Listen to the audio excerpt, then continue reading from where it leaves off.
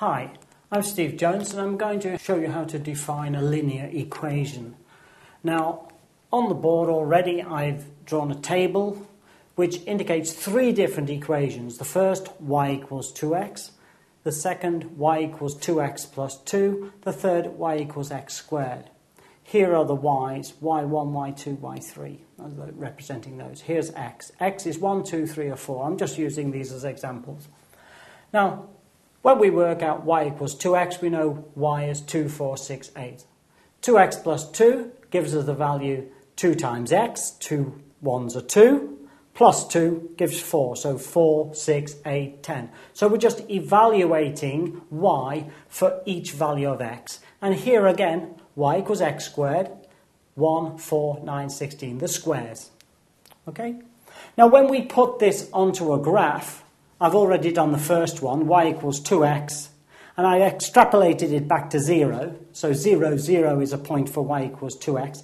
This should be a straight line. I know it's not very beautiful straight line, but it's a straight line.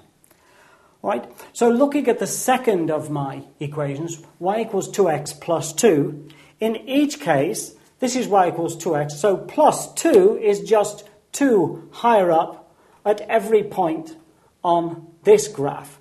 So in fact, the graph looks something like that. And you notice this also is a straight line. So y equals 2x plus 2 is a straight line. Both of these are straight lines. You'll also notice that in both of these cases, x is just a plain simple x.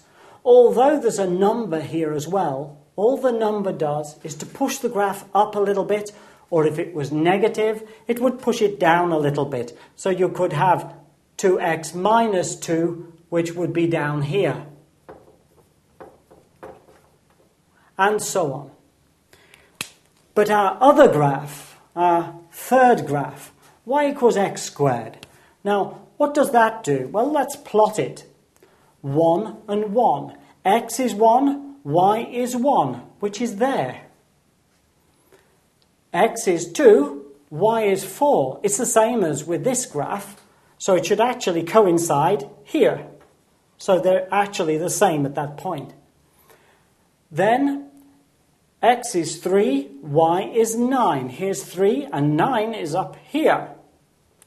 And finally, X is 4, y is 16 is up here somewhere about, about there.